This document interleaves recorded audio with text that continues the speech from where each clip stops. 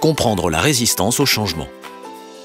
Au quotidien, que ce soit subi ou choisi, les femmes et les hommes s'adaptent au changement. Sauf s'ils sont salariés visiblement.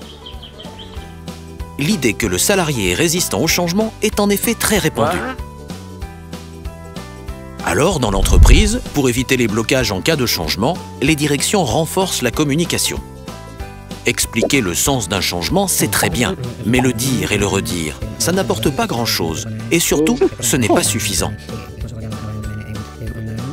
Si les salariés comprennent le projet, mais sont toujours réticents, c'est peut-être qu'ils ont des raisons.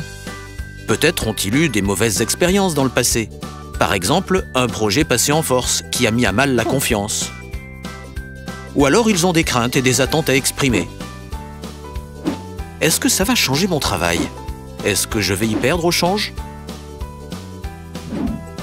Discuter de ces craintes et attentes, ça peut améliorer le projet ou éviter un échec. Voilà trois leviers pour que les salariés adhèrent à un projet de changement. Et les lundis seront plus faciles.